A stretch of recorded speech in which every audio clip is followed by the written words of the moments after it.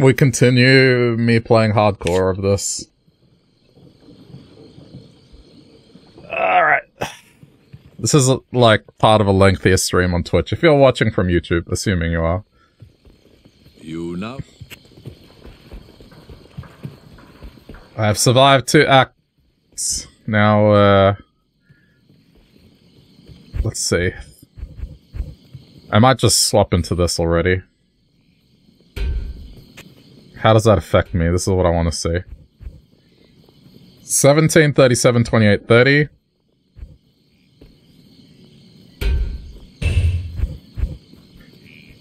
Oh, yeah, that's much better.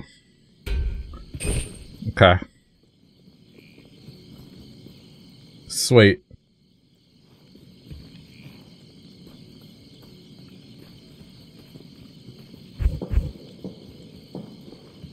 Alright, I should be in a much better position. Also moving quicker. More armor, moving quicker. Um, I'll swap out the shield at the next level. Uh, follower level 21. We'll get that. Okay.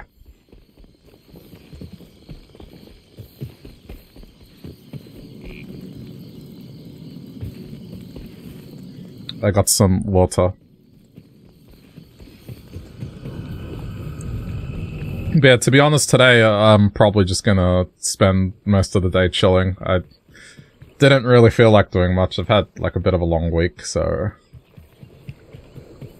This is probably what I'm gonna do all day today and maybe watch some movies or something later. Everyone needs a break.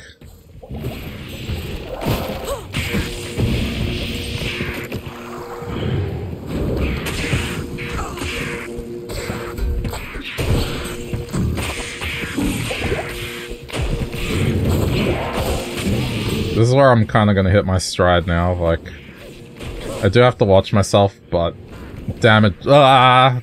Yep, that. Fire. It's okay. That's why we have the purple potions on the right button. Panic button whenever I see my health, like, dip. It's okay. Next level, my it should stop happening, at least, for this difficulty.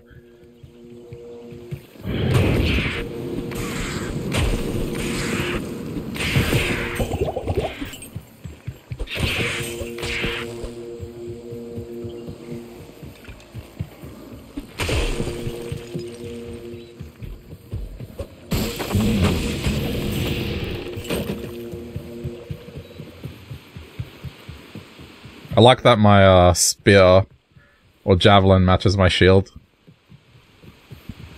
It's all red.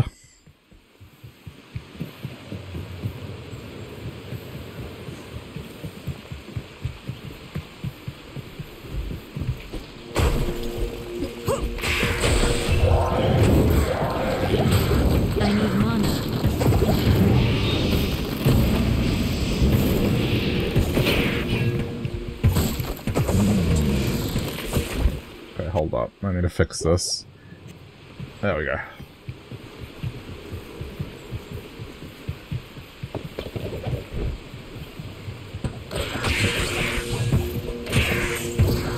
Matching gear is very important in the modeling community. I mean, with transmogs it is. With this, you didn't really have much of a choice.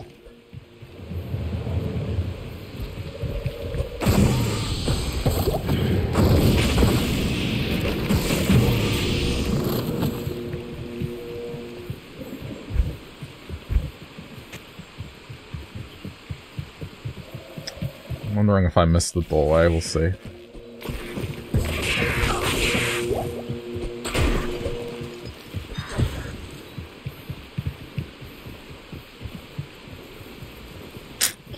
Still having issues with stamina.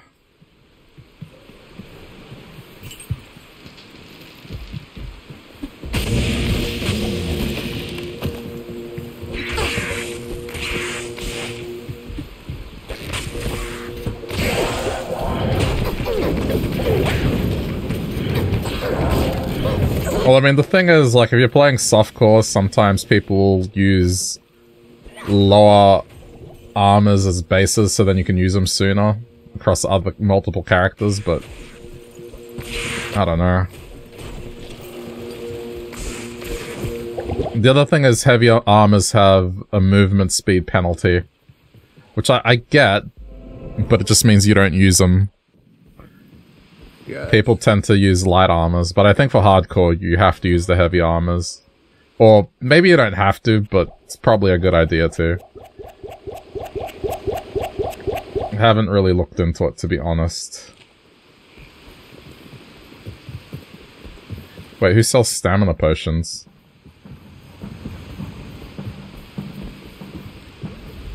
Greetings. Well, you don't. Oh, whatever.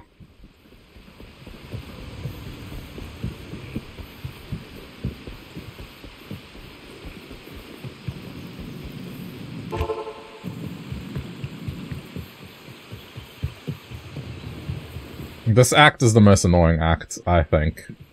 In terms of navigation. Maybe not enemy types.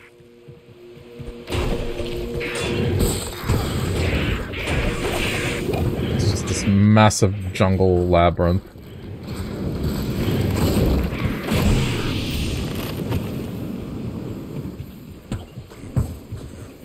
One thing I'm very happy about lately, uh, I've gotten multiple people into watching, uh, the rehearsal. They're hooked on it. Even though it's a very short series, like, they enjoy it thoroughly. Which, by the way, if you haven't seen any of Nathan Fielder's shows, you should. Especially the rehearsal, the new one.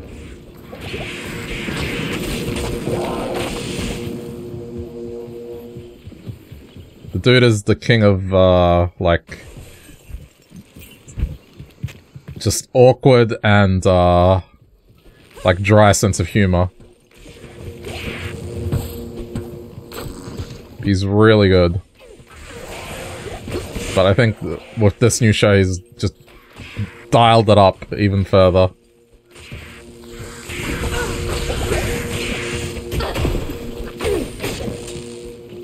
The amount of meta jokes he makes is, is kind of crazy.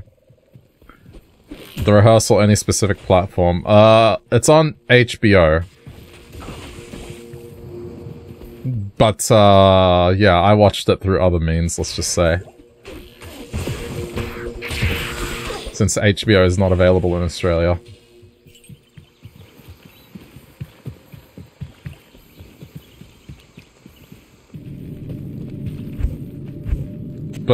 Uh, I've talked about it. The, the premise of the show pretty much is that he lets people who are sort of overthinking something to kind of practice it, right?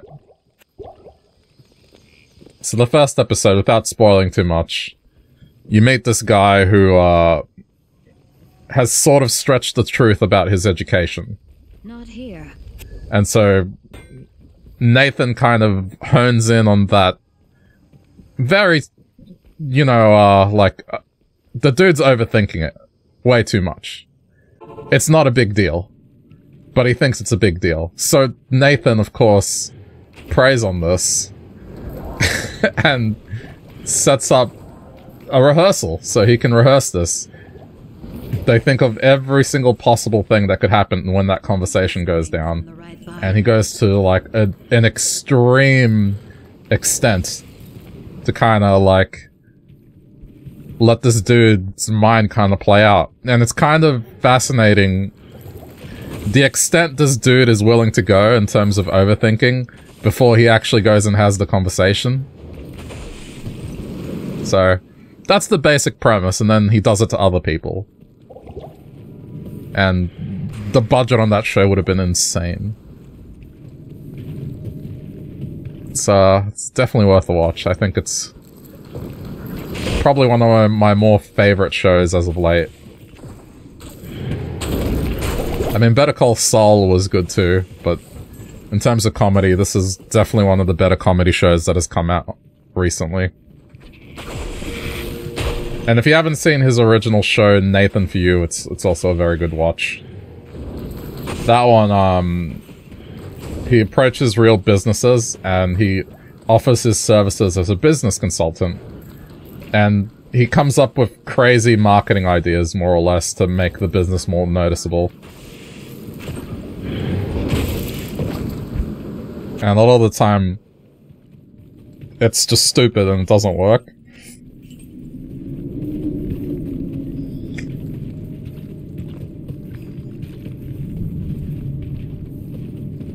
So yeah, it's, I appreciate his his comedy because he's just very very dry. Very very weird television that, but if you appreciate weird TV, you will enjoy it.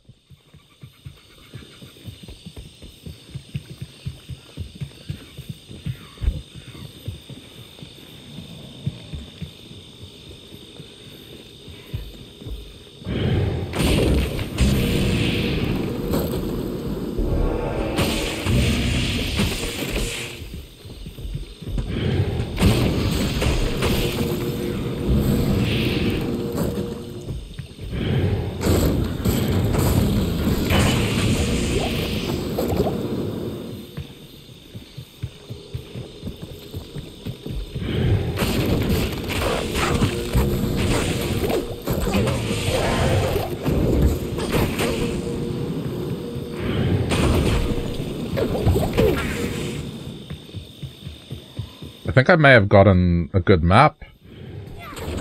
Like, that was pretty painless in terms of finding the waypoint and the cave I needed to go in. This map can be a bitch, to say the least.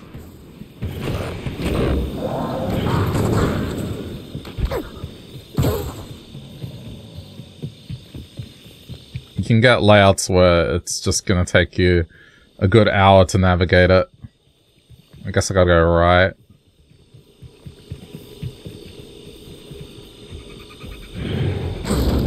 Well, sometimes it'll be straightforward and it'll be linear.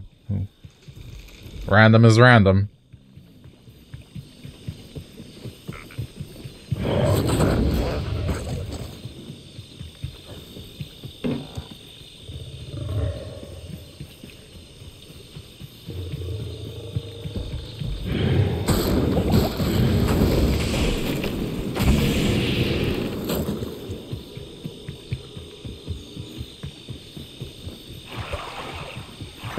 I just, I just want my stamina back. okay, this is where the waypoint should be, hopefully.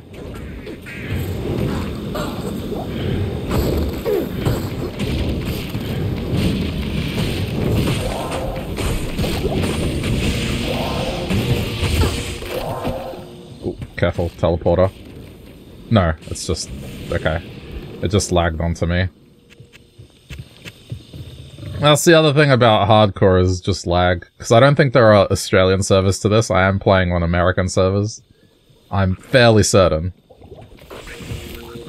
So...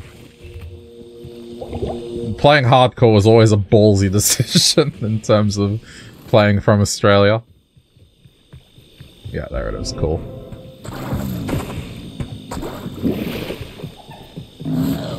I think my music may have stopped.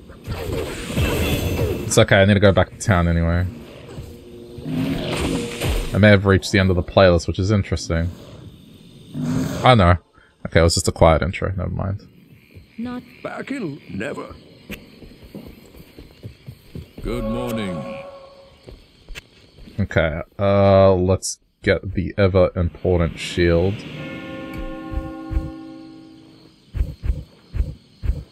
Sorry, just checking. Okay, we got a bit to go. Right. Oh, that's much better. Oh, there we go. Aside from fire, everything is, is at max resistance for this. So, not here. Well, praise you. okay, things are gonna get less stressful now.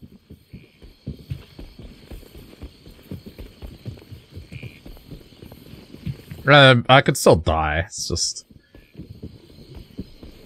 Can I dump everything into combat stats and be a hyper glass cannon? Uh, it's the thing is stats don't correlate to damage, so to speak, in Diablo 2. Like, for example, Amazonian, if you're doing throw, the damage comes from the actual uh skill point. So like I could use the my starting javelin and it would scale with this damage. But then if I went a physical build, um like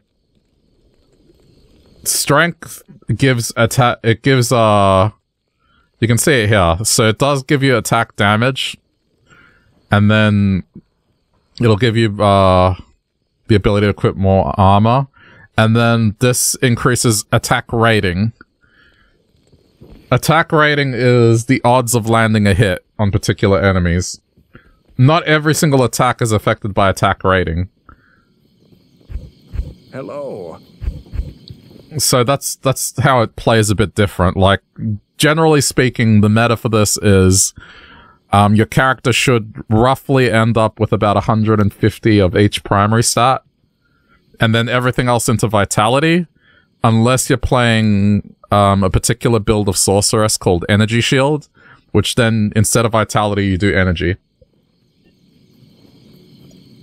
Because there's not a whole lot of point in putting more stats into that. Like, it does increase your attack rating, but health is more valuable in this game. Not in town.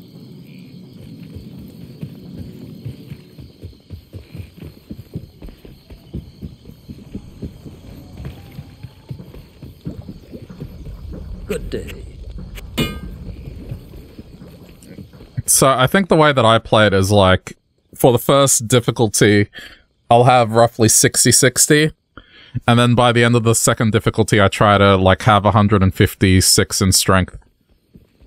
And then slowly get dexterity where it needs to be.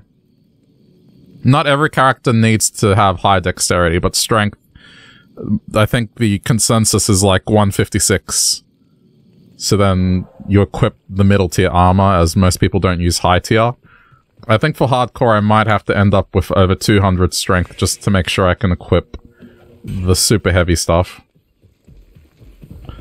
Can someone mess up their character? Uh, you can mess up your character in the sense that you might not have a good stat distribution to survive.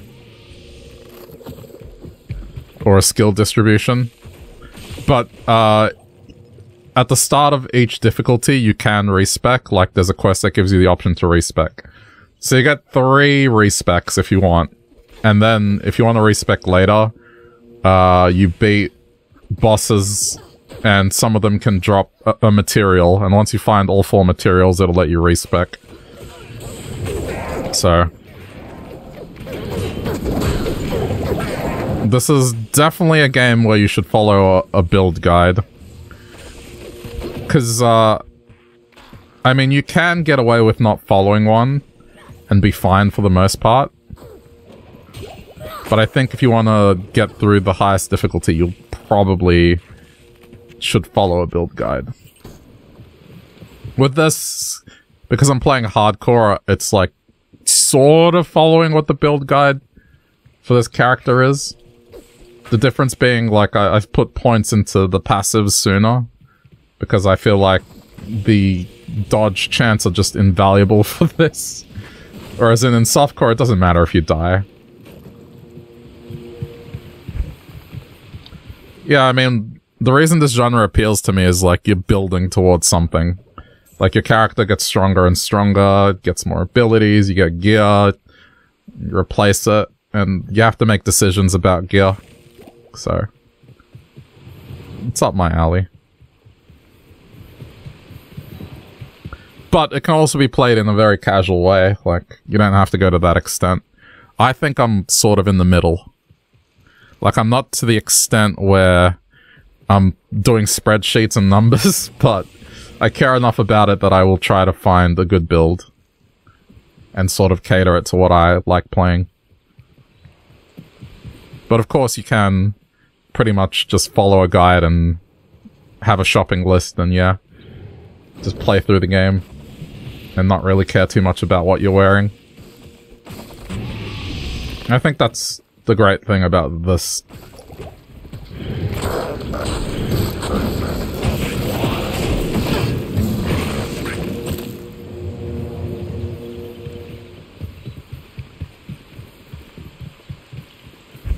I forgot to get stamina potions. Ugh. Uh, this is interesting though. The Great Marsh usually leads towards the Flayer jungle.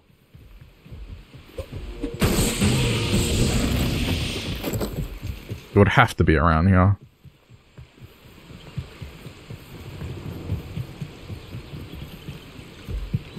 So much for having a straightforward map.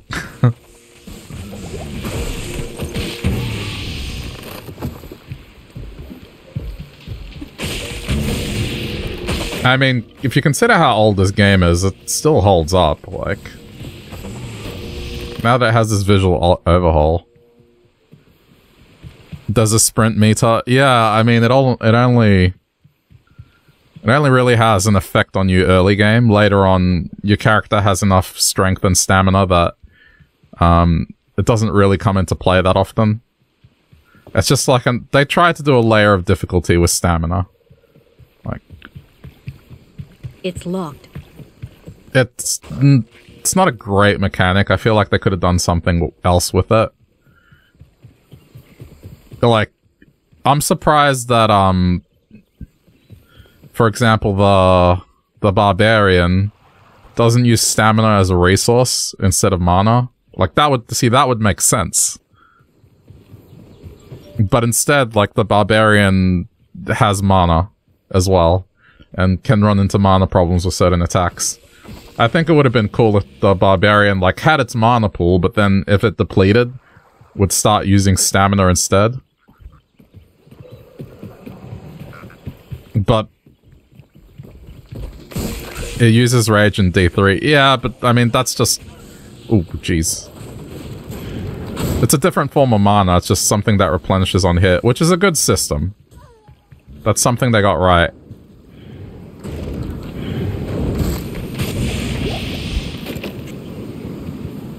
But I think for this...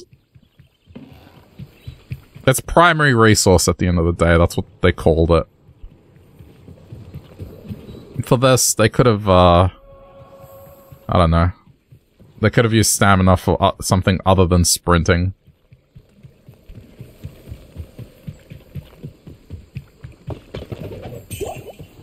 Yeah, I feel like at this point it's easier to just go to the spider. Stay a while and listen. Greetings. Who sells stamina potions though? Not in I'll have to find out. Hello there. Not here. Hmm. Maybe this dude.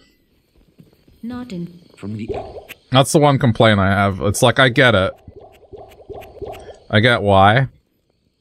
Because this is like structured in an old RPG game where, you know, you have a vendor that sells potions, one that sells you weapons, you have a blacksmith that repairs your stuff.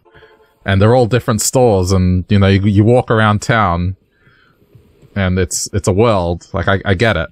I, I truly do.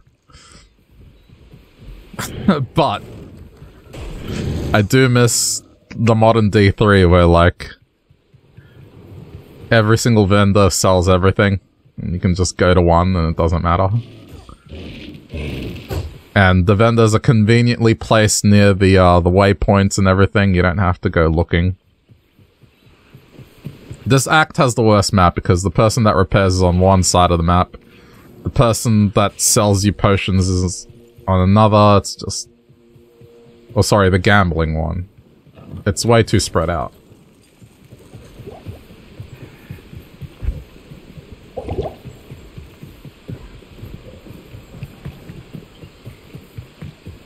Okay, this should hopefully lead in the right direction.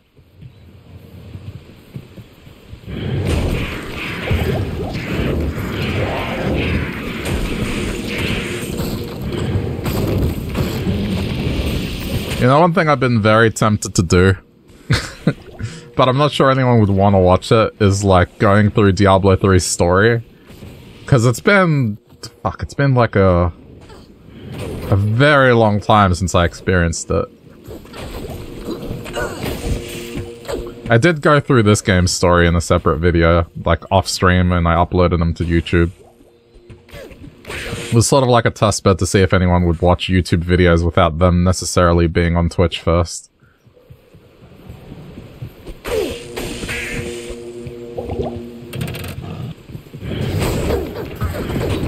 Oh crap.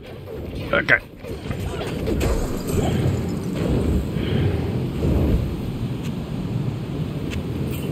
Uh, let's pick up any mana and healing.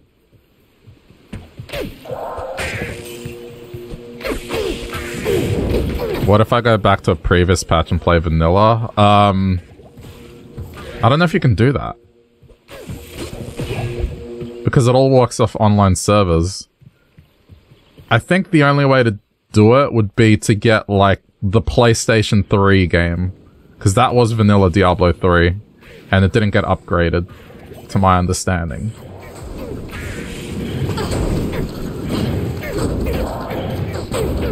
So that would require getting a PS3 and a PS3 copy of Diablo 3, which isn't out of the question. It wouldn't be hard to do. It would certainly be an interesting thing to do.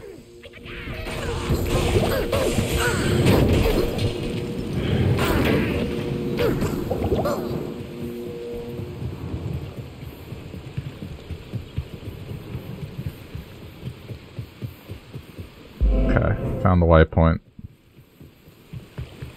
I know that it would be a much harder game. However, however, there is certain things that I now have knowledge of that I didn't back then that would make it easy. Like some of the insanely broken stuff that was in the game at launch. Like the monk had really broken skills that had to get patched multiple times.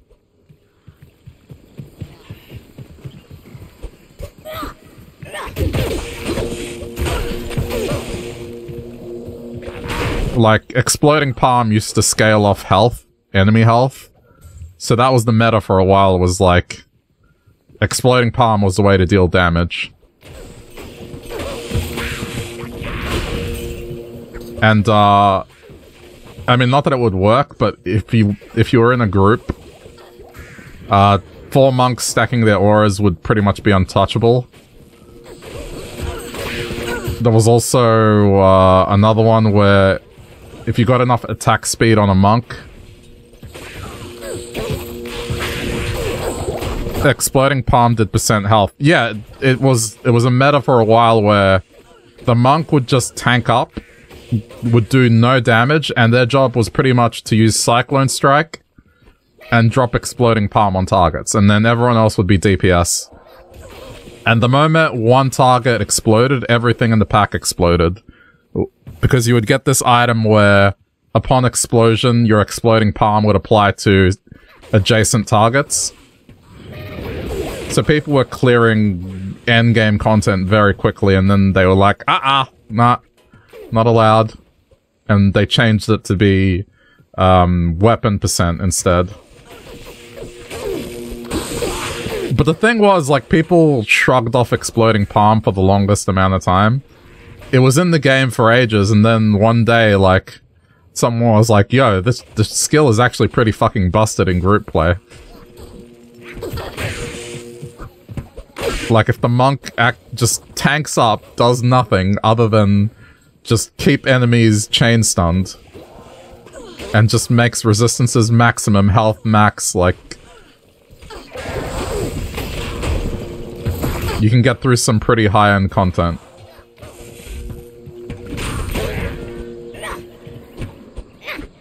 the monk was the most powerful character in that game. Just if you go by the number of times it was like his skills were either reworked or nerfed because they were too good. That character had the most. Like it is it is easily the best class in that game. It does it didn't matter what the meta was, the monk was always in group play.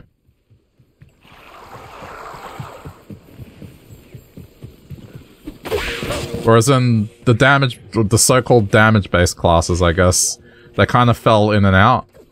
Every other class has kind of cycled in and out.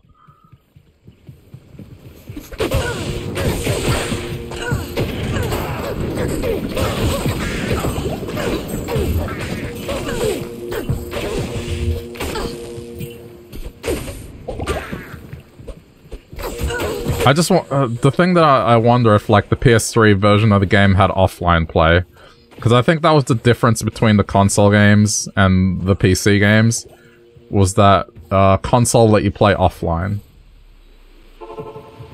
Not here. Not But it would it's, it would certainly be an interesting thing to do.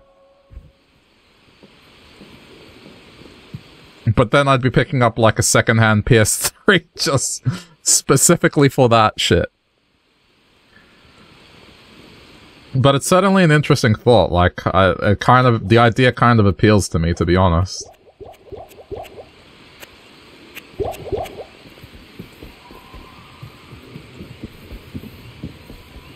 But yeah, I I, I think it, it has to be the PS3 version, Is it?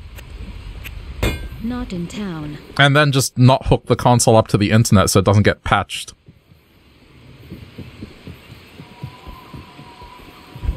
So then we, it's like a true vanilla experience.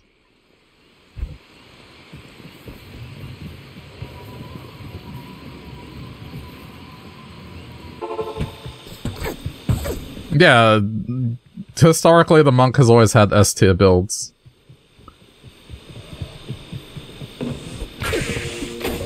The thing is, I don't think the playstyle appeals to everyone, and when people think about that character, they think it's a support character. Which it is, but... It's a really good character.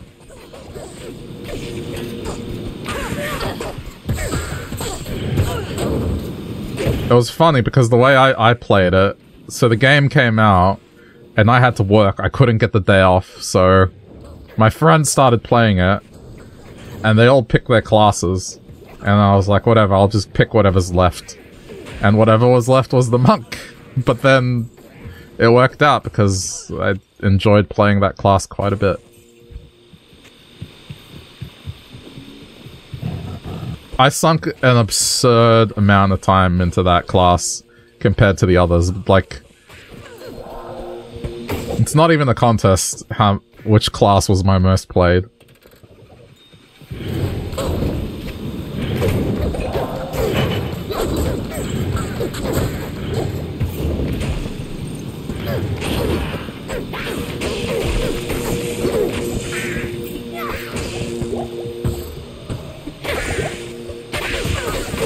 So you would think this is this is stressful with all the little dudes running at me, but it's not bad.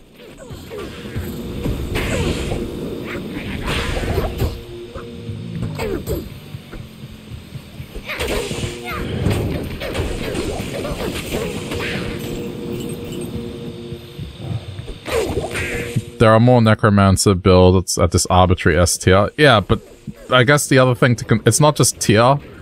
It's you consider the history of the character and how many times the skills have been reworked because they were broken. the amount of nerfs, yeah, like the monk has received the most nerfs out of any class. And reworks because of skills being too good.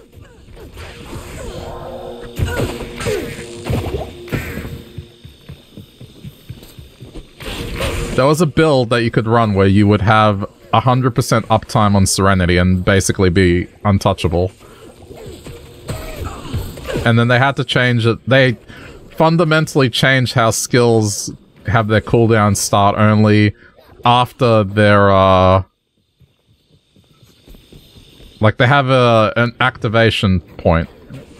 And then the cooldown used to start at activation, but now it starts at the end of the animation.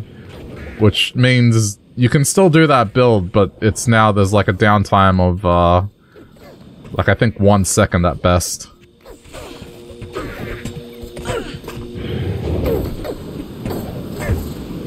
Yeah, I'm talking like as a whole, right? Like historically, if you put everything together, the monk is hands down the best character in that game.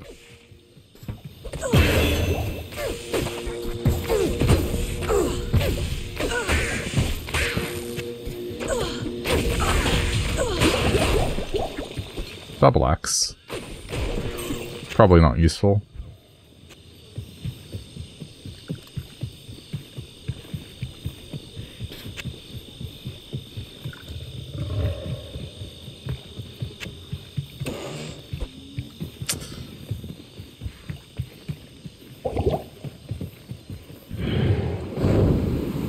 They usually appear from... Oh, there they are. Jeez. Came from the other way this time. Dagger will separate the faithful from the fallen. Not in town. Not here. Yeah, Bladebone. Not interested in it.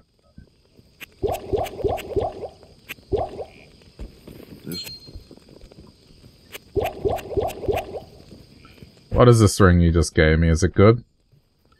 Uh, attack rating, double resist. Yeah, it'll replace this one here. There we go. Wait, that's cold. Wrong one. This one. Greetings.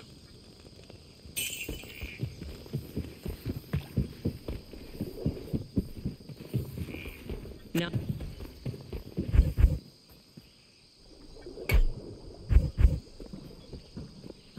Okay. Uh, Plague Javelin. That's five, and now the rest will go into Stabby Stabby.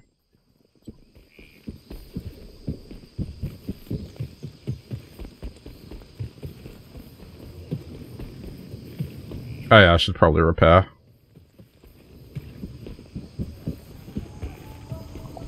Mm-mm-mm-mm. Yes.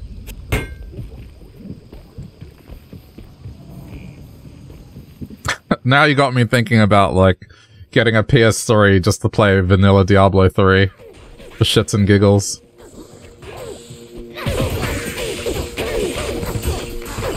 Assuming you can play offline.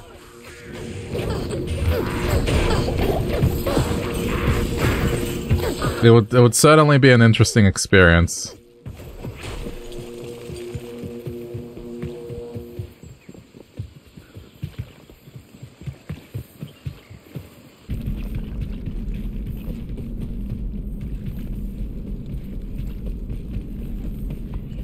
It's a shame there's no backwards compatibility with uh, the PS3 because that stupid cell architecture. it's just very bad decision to do that. Like they wanted something powerful, but ultimately, in terms of preservation of video games, very annoying.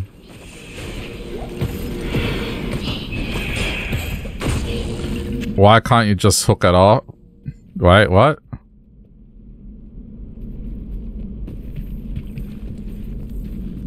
Yeah, I don't know, because I guess because the PC game is not offline. You can't, there's no offline mode on Diablo 3.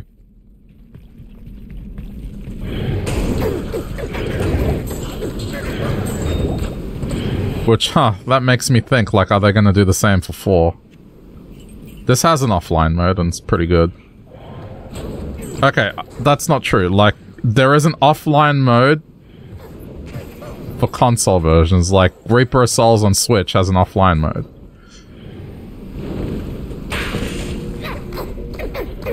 Not enough mana. Hey, I don't know. I'll I'll look into it.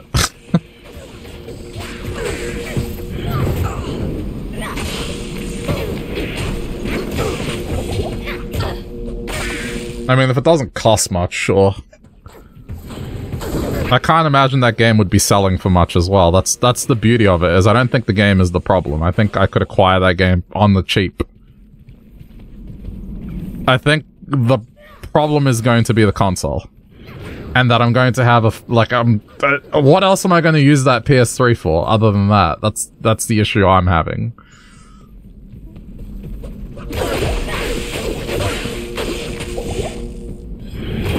I, I didn't really play many games in the PS3 era, so there's not a whole lot of games that I would be like nostalgia for. If it costs over a hundred dollars, don't go for it. Uh, I mean, that's the cost of like a a triple A game, I guess, which is is fine. That's like there's some good PS3 games out there. I know there are, like not denying it, but good PS3 games that haven't been released on PS4 or other systems. That I'd be willing to like. The thing is, if they're really good PS3 games, the price to get them secondhand probably isn't going to be great.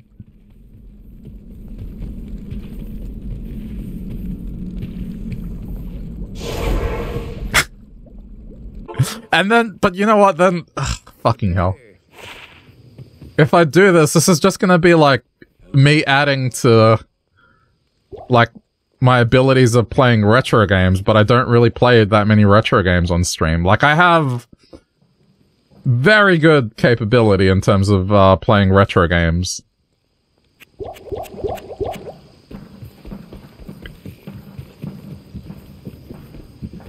I should really, I should really start doing more retro games. I don't know.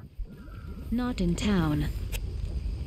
Demon's Souls is on PS3. Yeah, and they re-released it for PS5. I played it. It was great. I have Demon's Souls on PS5.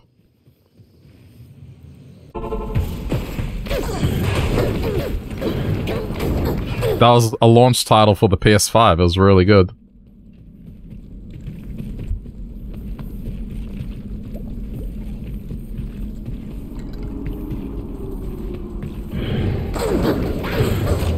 Okay, well at least I can throw javelins through here. I think it's just an inverted map. It's the same as before. You didn't know I had a PS5. Yeah! That's fair. It's kind of a, a fair assumption to think that I don't have one. But I did get one on launch and kind of glad I did now, given one, in short supply for multiple years, and two, the price has gone up in Australia. And they've put in smaller heat sinks and stuff to, uh, like, I guess, lo save money on manufacturing and make more money ultimately. So I'm very glad I have a, a launch console. Dude, I, I've loved, my, I love my PS5. I mean, sure, there's not that many PS5 exclusive games. But in terms of playing PS4 games, like, I've gotten a newfound love for PS4. Because there's all these games that I can buy at cheap prices, right? Because they're old now, but they're still technically current generation. And they play a heck of a lot better on the PS5. Between load times and some of them being enhanced, like, it's great. I have a larger library of PS4 games than, uh, than the Switch. I think it's my largest library of games ever. The Wii would have been a close second.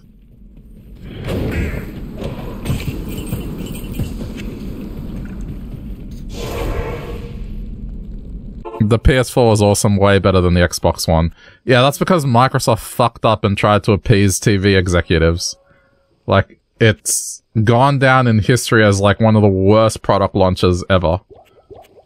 It was so bad that all Sony did, they got up on stage and they talked about what the PS4 wasn't going to do and what it did uh, instead of what it did. And they just absolutely slaughtered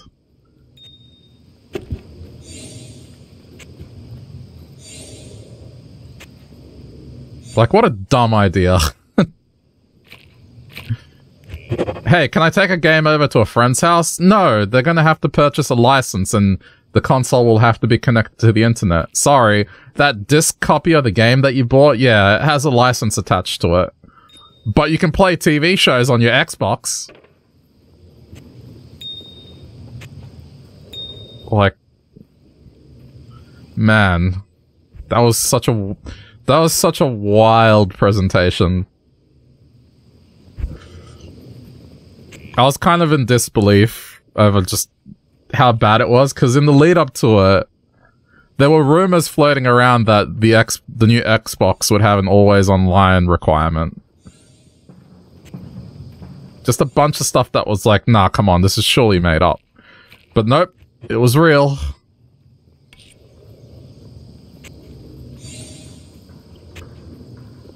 The backlash was so strong that they had to change their plans on all that DRM shit they were going to do with it.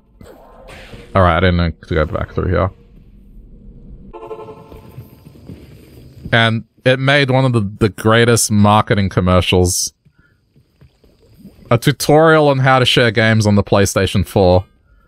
It was like a, a 15 second video half of that time was just the little fancy title screen that said how to share games on the PlayStation 4. And then it was just one dude handing another dude a copy of a game.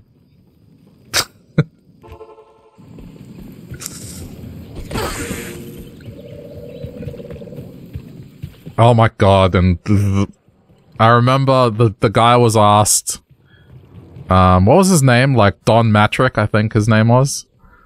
So he was asked that a lot of Americans don't have access to good internet connections, so how can, you know, the Xbox One isn't for them? And then his response was, we have a product for that, it's called the Xbox 360. So his answer was, oh, no, no, no, you just buy our previous generation console if you don't want something connected to the internet permanently and requiring the internet.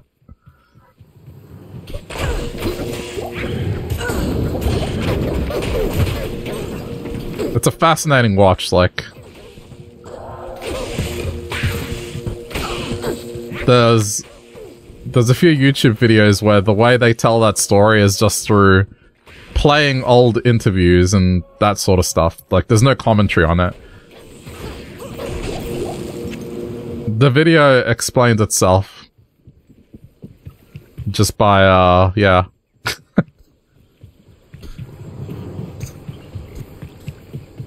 okay, so I should be heading in this direction now. Wait, this is the... What? This map is... No, no, no, no, no, no, no, no, I'm doing this wrong. I got an annoying map.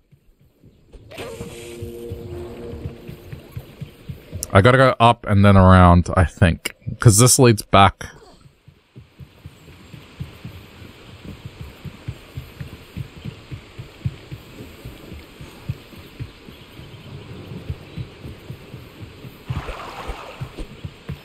You heard from a few sources the Series X is more powerful than the PS5. Uh, I mean, it's one of those things where that might be technically true, but it might be one of those things where it's like they're they're citing lab conditions, which yeah, like, but if a game is poorly optimized, it doesn't fucking matter. That's the thing. It's like I think the consoles are on pretty equal footing.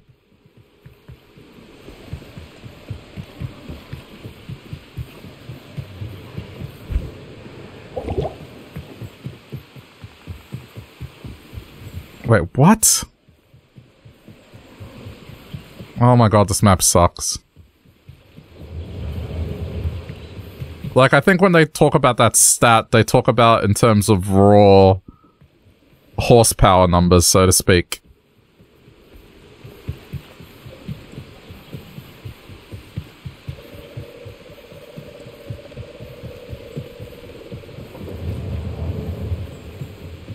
Like, I, uh, that's the thing that isn't really considered amongst spec wars is like, yeah, I mean, you can have the specs, all the best specs in the world, but like the way a game is made, it might not necessarily take advantage of them and might ultimately render the same way it does on an inferior, quote, an inferior console.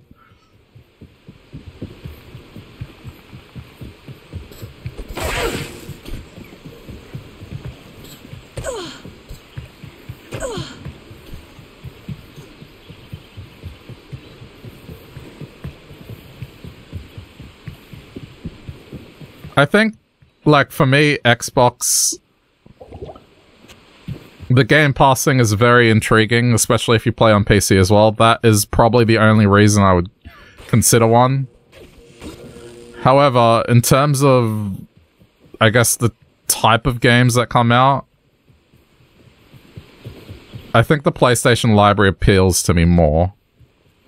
Like, if you look at Microsoft exclusive, it's like, what? Gears of War, Forza, Halo. Um, I'm forgetting one. I need mana. But there's like a five, and I'm not really interested in those five.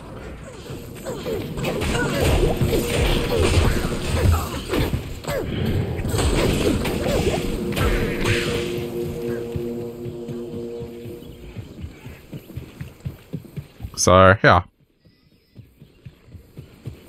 I don't know. I'm always of the mentality of just get whatever works for you. But don't, like, be be a fanboy and think that someone else's choice is inferior.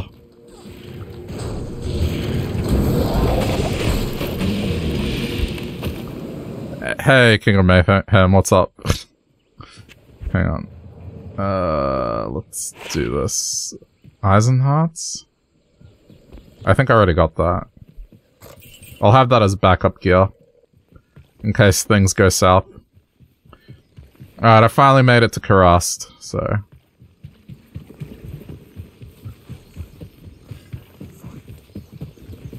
That was uh, one of the more difficult maps to navigate.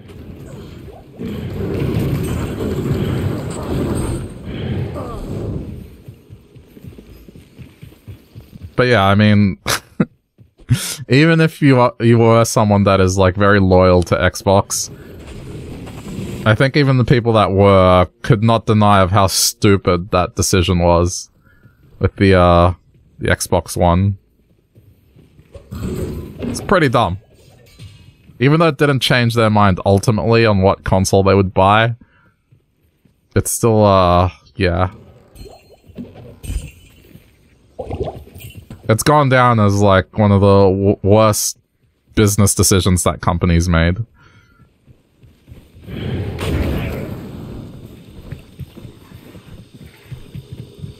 It's up there with Windows Vista being disastrous.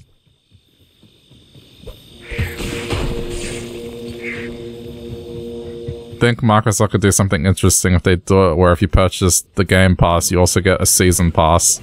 Yeah, I mean, I think that's where things are heading based on how they're purchasing certain companies.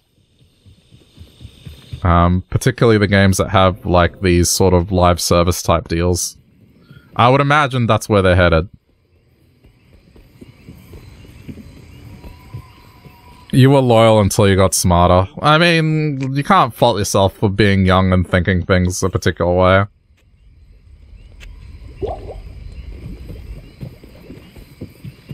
I've always, uh, kind of stuck to stuff that I liked personally, but I never really said that other things that people were interested in were, like, crap. Just different, I guess. Fuck. I hate when this happens. okay.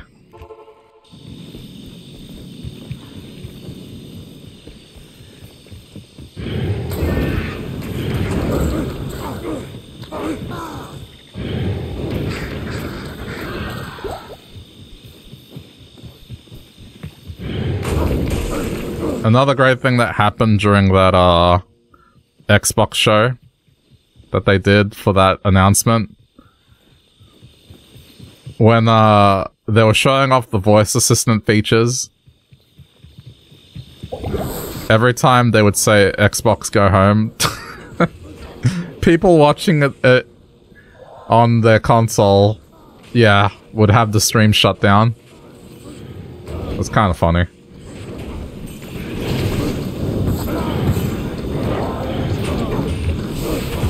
You did say they were crap unless they used the PS3 fucking nerds. yeah, I don't know. I've never really been a loyalist. I just used whatever works for me.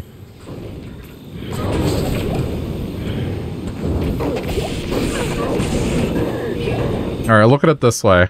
I used Windows for the longest amount of time for, like, work and stuff. Until Windows 8, where Uh, yeah.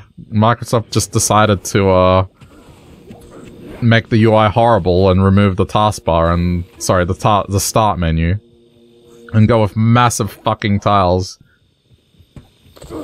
Something that made sense for touchscreens, but not really for traditional computers. And that interface annoyed me so much that I got a Mac. And I've been using a Mac for work since then.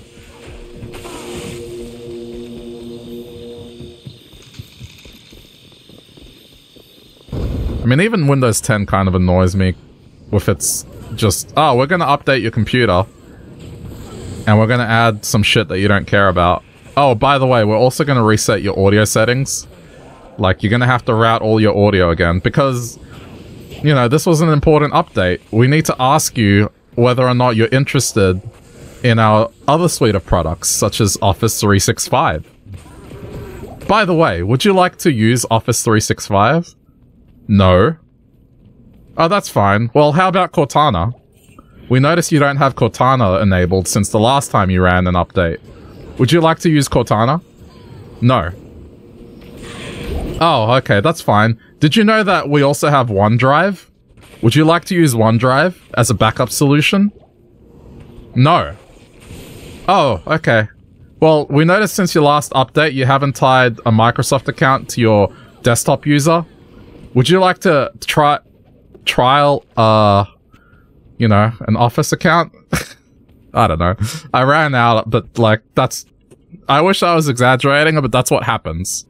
I'd say every 4 months that's what happens to me where they go through these series of questions, it's installed an update and it asks me all this stuff again. Um 100 defense versus missile hits blind target. That's pretty decent. How's my resistances? Uh, drops cold resistance too much. Drop it on the mercenary. It's it's just Windows 10. Like I feel like I don't own the operating system anymore.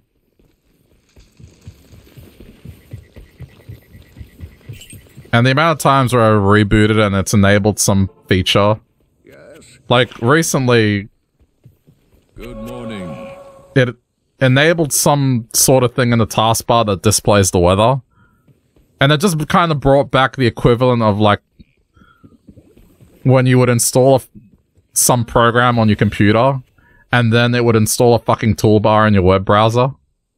All this trouble over. Like, that's what Windows 10 feels to me right now. Where, like, at any given point, it's like, oh, look, they installed a fucking toolbar on my computer without my consent. Sweet.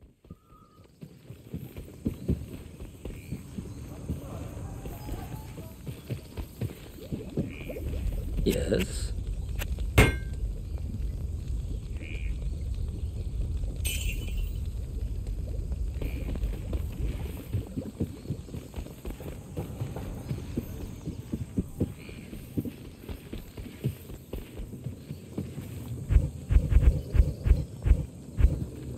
Okay. Put this with the others. Gotta cover that laptop cam too. Dude, do you know what's a really scary photo? That has, that kinda got me into doing that. I didn't believe in that at first, but there's a photo of, uh, they were doing a tour of Facebook offices. And they took this photo of Mark Zuckerberg sitting at his desk. And they put it on Instagram, right? Seems innocuous until you look at the picture. The dude has very thick sticky tape over the microphone and he's covered the uh the camera completely. And I'm like, if that dude's doing that, a guy that like works for a company that is kind of known for snooping, I don't know. Like, it's a bit conspiracy theorist, but at the same time, it's like he's doing that for a reason.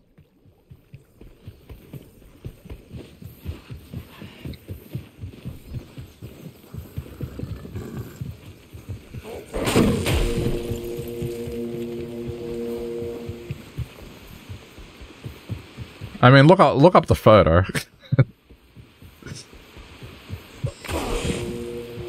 I'm not one to like go into conspiracy theory stuff and like dooming. However, in that regard, like,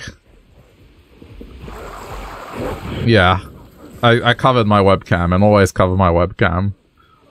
The microphone, don't give a fuck. It's like, whatever.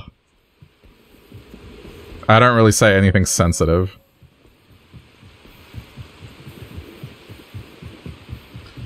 They took a picture of him through a stationary camera. Was he smiling? No, he was like, he posed for it, obviously. But behind them is his computer. And anything that, uh, yeah, needed to be covered up was covered up. It was taped over. And not with normal tape. It was, this was like the thick kind of tape, you know?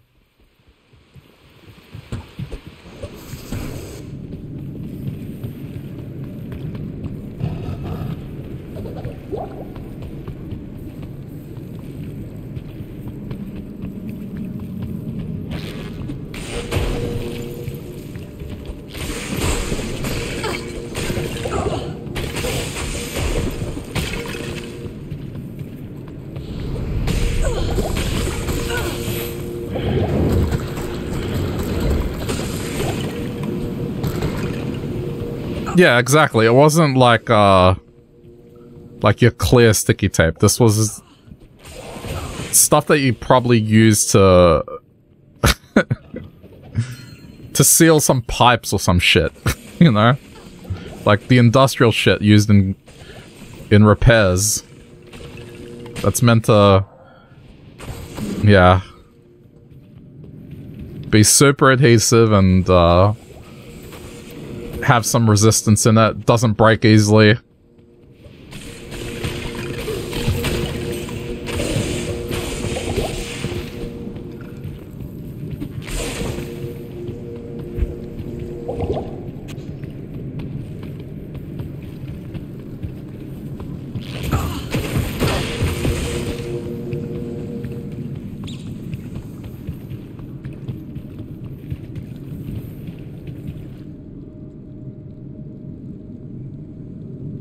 I think if it was anyone but him, I would have thought of it as innocuous or, oh, okay, whatever, that person believes in that sort of stuff.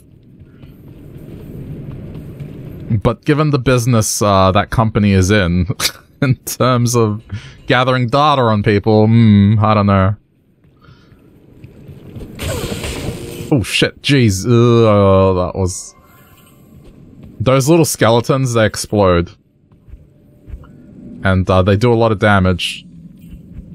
But I luckily was able to block.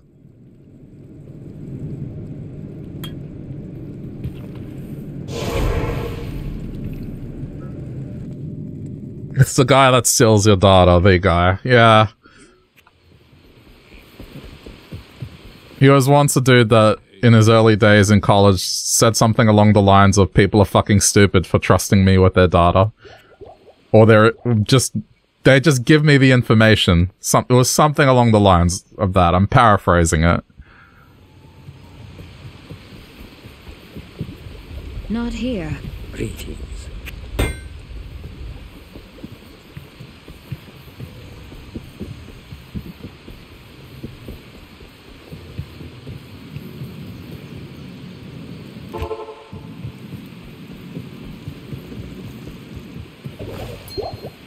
I'm making good timing, I think, with this act. Maze aside.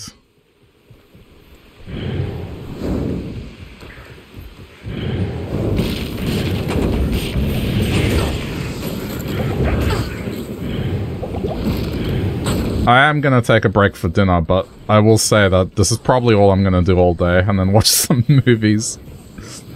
It's just, oh man, this week has been a long one, so this is my way to kick back. You want to get rid of Facebook, but your mom posts stuff on there. Yes, that is what we call the network effect, and that is something that Facebook heavily relies on to keep users using it. And, you know, it's fine.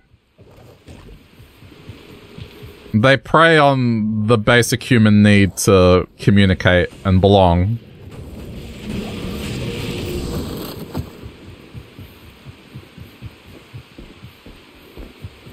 I'll never fault someone for using Facebook. But I will say, like, if you can, just get off it. It is my hope that that company in my lifetime just goes under. I really do hope that that will happen.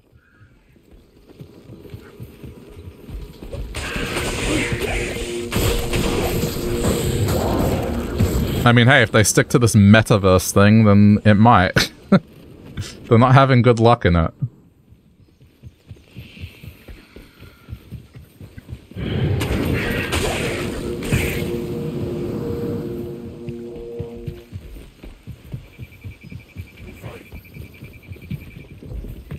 It's sit and rots on your phone. Yeah, but the fact that you have it there, and if you're logged in on a computer, um, websites have like a tracking thing, pretty much.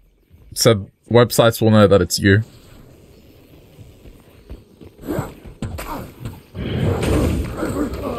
Just because you're logged into Facebook.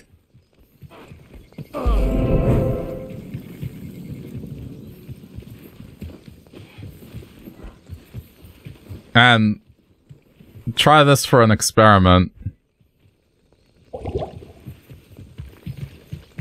Don't you, like, I, as hard as it might be, don't use it for a while. You'll see, this is what they, they start doing. If you don't use it for a while, they will start notifying, like, people that you're friends with to communicate with you, or like, just little things like they'll receive emails of like the last post you did pretty much something to get other people to communicate with you or they'll like start sending you emails about the fact that you're missing out on stuff that some of your closest friends are doing like it's pretty fucking evil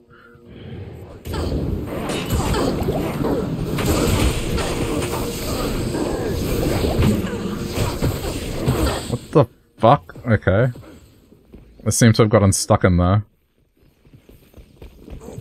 Sometimes the 2D graphics don't translate well to 3D. I was trying to get the, uh... The replenish, but okay.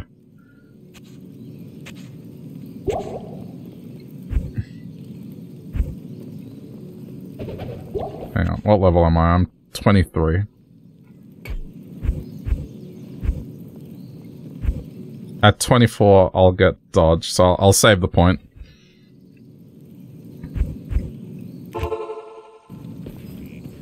Good day. Not in town. You But they do it between a lot of stuff. They'll do emails, notifications.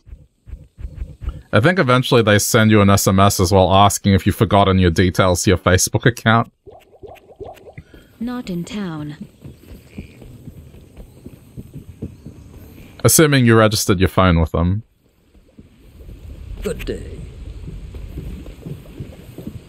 Oh I didn't repair.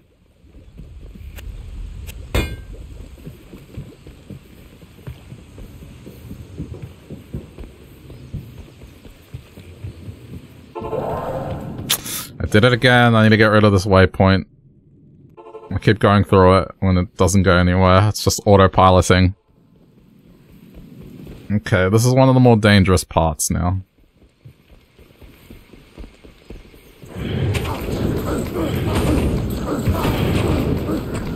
Jeez, this is very populated. This part's usually empty.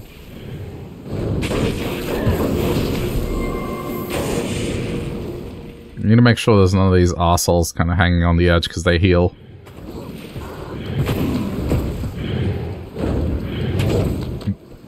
These are enemies that I cannot directly face because they're they're super strong. And they got a curse on me, okay.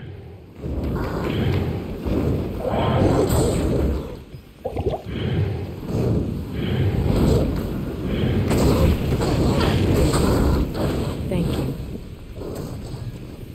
Fucking hell. That should kill it.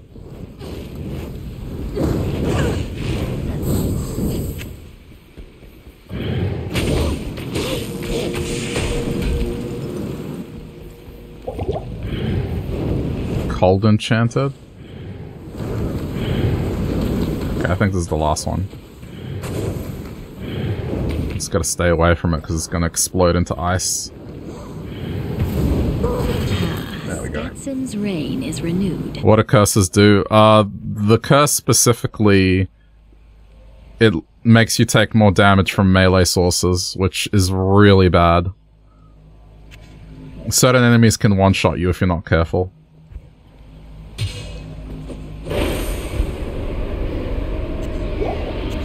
Maybe not in this difficulty, but the next one onwards, it's it's a huge concern, especially as a melee character. It's kind of fucked up. You have to make sure you have a high enough armor rating, otherwise... Yeah...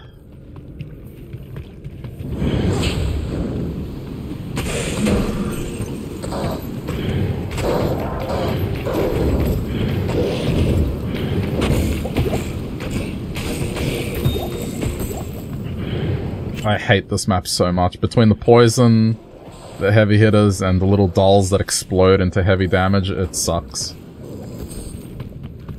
This entire act is just obnoxious.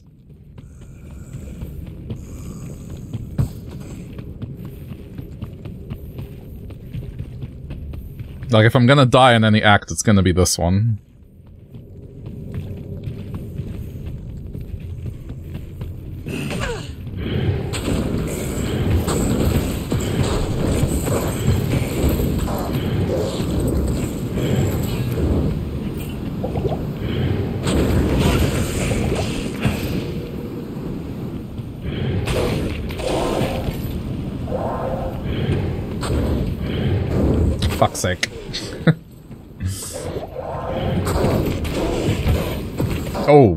Where did you come from?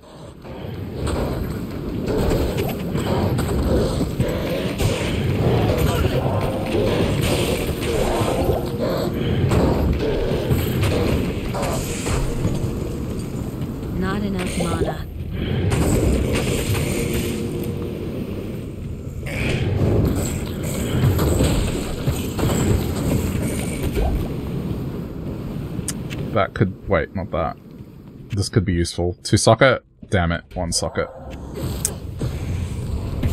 Two socket would have been very nice.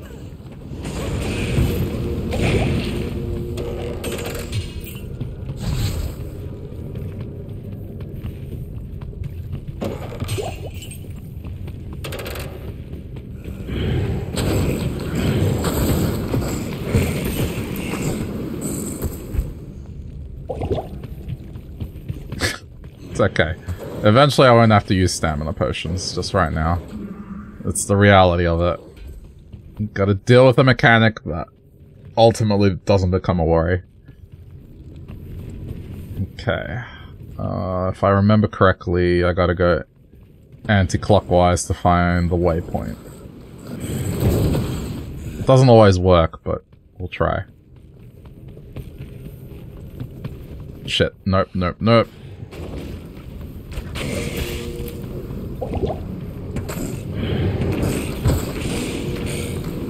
Those little things are probably one of the worst enemies in the game. Oh no. Quick moving. Ah! Okay, get away, get away, get away, get away. They should hopefully die to the plague.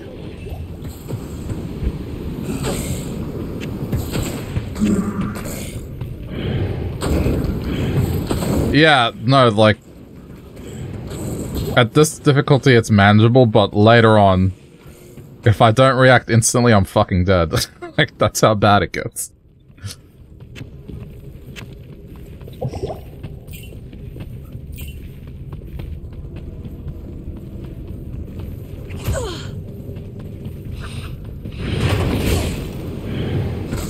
I have to invest points into the skill that, uh, like, offers a light source.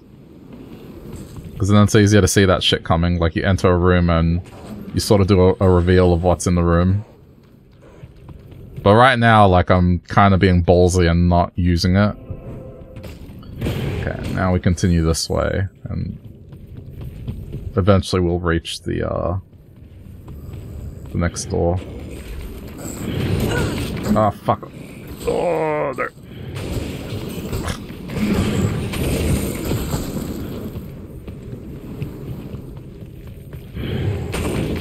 Yeah, Melee has a very, very rough time in this game.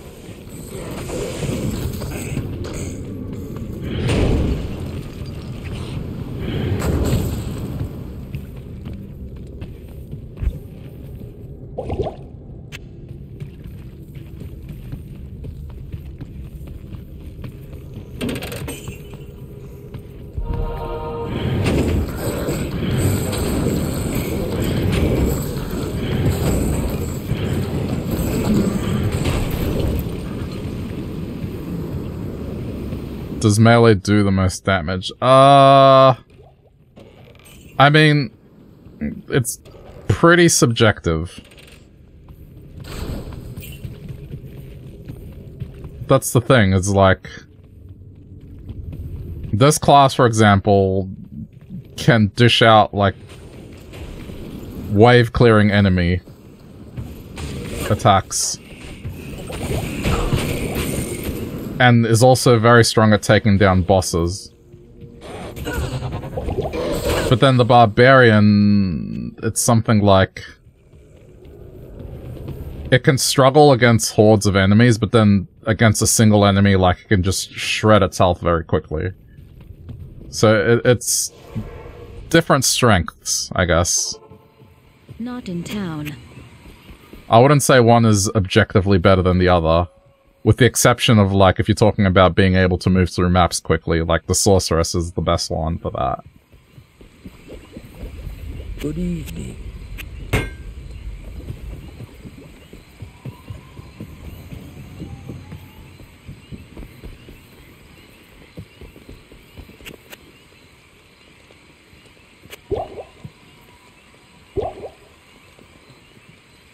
It does all I need, CC and single target damage. Uh, yeah. It's it's a good all-rounder.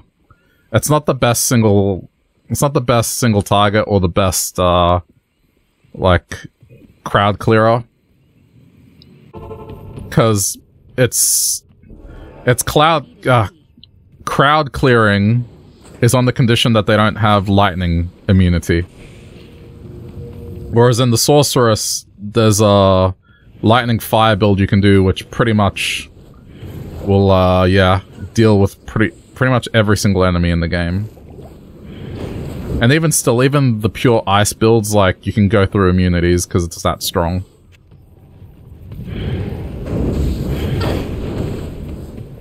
But in terms of boss clearing, it's a bit slow, like, the Amazonian can just stab and clear bosses very quickly.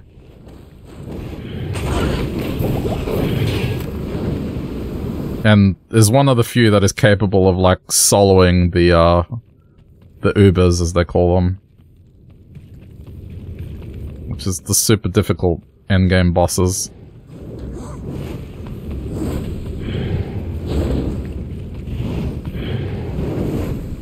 Oh shit. Ooh, that's not good. I might have to warp out here. That's not a good- that's not a good double. I should not fight them.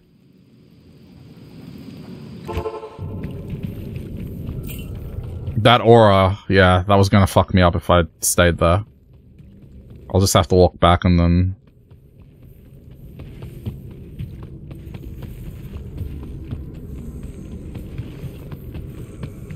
I'm playing it safe. I'm sure I probably could have killed it if I threw a javelin and ran away, but I just didn't want to take that risk. I think it's better to... Okay, do this. Uh, it's probably better to head this way. Yeah, okay. I just left them to the side there.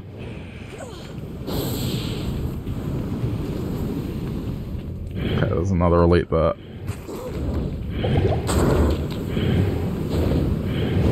They were moving too quickly, and yeah, they were buffing one another.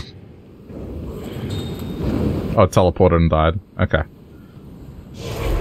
Alright, let me go get my follower back just to get some extra damage on it. Yes?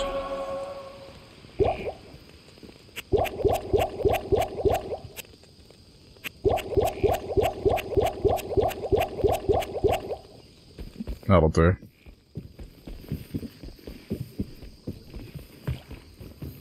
Not in town. Not in town.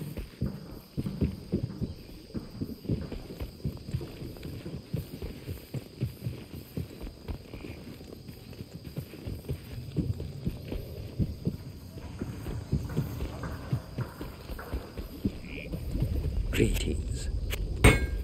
I should be able to be fine here.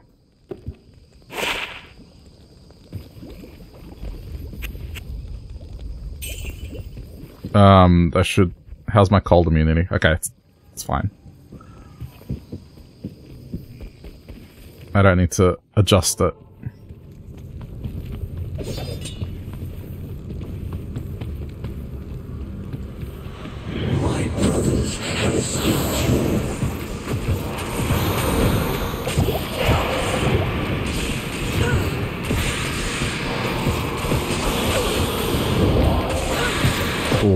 I'm pretty lucky. I see enemies in the corner there. They could intervene at any minute. They haven't.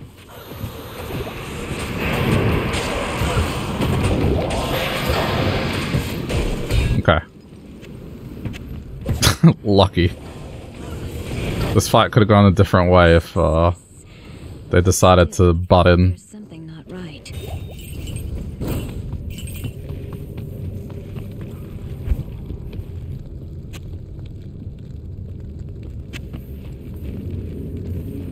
I am overburdened. Uh, I mean, all this stuff is probably stuff I'll use, so... Okay.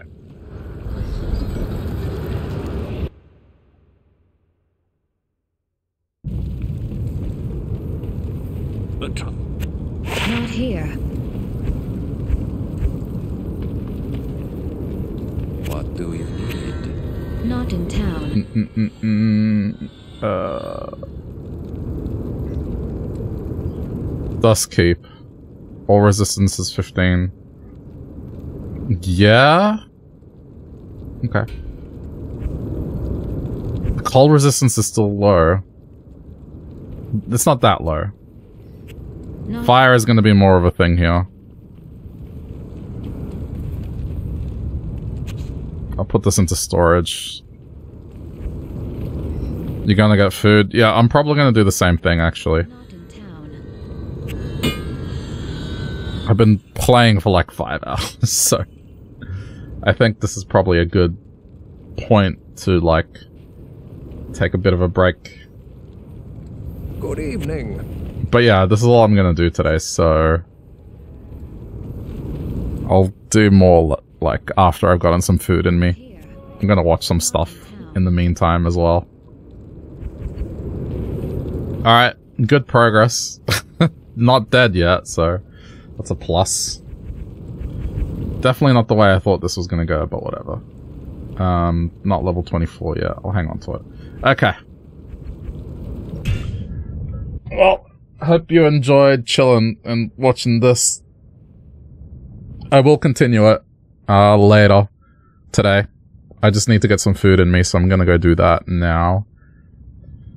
And I don't know, I'll probably be back in like an hour and a bit. We'll see. Depends what I get. But appreciate ya hanging out.